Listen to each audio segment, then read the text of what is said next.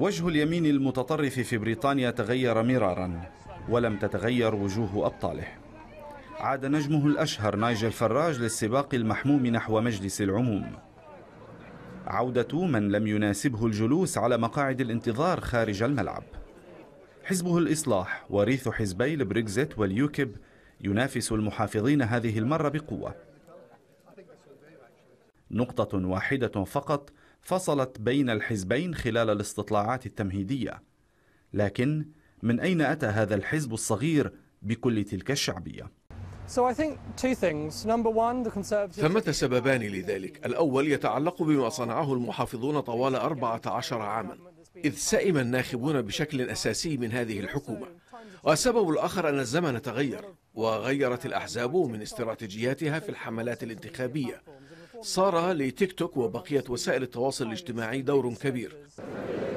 اليمين المتطرف ينتشر بقوة في بريطانيا ليس حزبيا فقط بل فكريا. فهو مقارنة بالتطرف الديني ينمو بوتيرة هي الأسرع للسنة الثالثة على التوالي. كما يقول تقرير توجهات التطرف الصادر عن الحكومة البريطانية في الخطاب الشعبوي يكمن التفسير.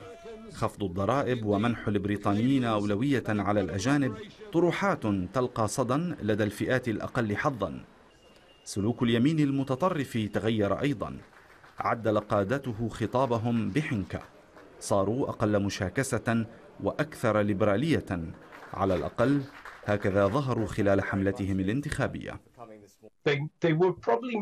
قد يبدو اليمين المتطرف ظاهريا أكثر تحررية من وجهة نظرهم بالحكم والدولة لكن هذا ليس سوى مجرد خطاب بلاغي تعبوي لا بأس بذلك. أنت تعلم أن السياسة تحتمل البلاغة لكن في الوقت ذاته يجب ألا نخدع نحن الناخبين.